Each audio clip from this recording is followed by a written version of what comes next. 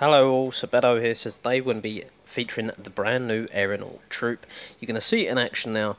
This base has a no A triple R defending uh, and also Cameron, thank you very much for allowing us to show this replay to YouTube. He's a member within Art of Pillaging My Guild. So thank you very much to Cameron. He's going to showcase these. These are only level 1 aeronauts. He's just started them to 2. So, you know, as time progresses, I'll show uh, level 6 because he's Pirate Rule 10. But this is Pirate Rule 10, no ARRRs.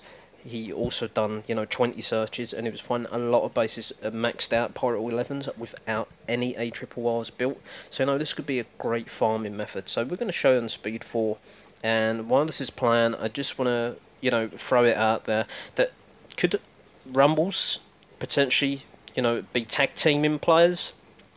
So, of course, you can see a lot uh, when it comes to Rumble matching that you'll see your opponent and you'll be able to get excess BP from it and plunder points. So what if one of your guild members is going around just using aeronauts and the ARRR trap has to be rearmed and someone else comes along with an army and takes out that base due to the rearm trap not being rearmed?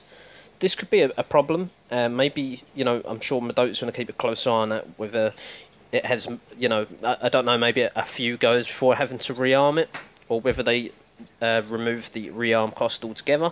But this is something we're going to have to wait and see. But, you know, just a handful, which is six of these, by the way, that is max, and you can't donate them to the guild ship.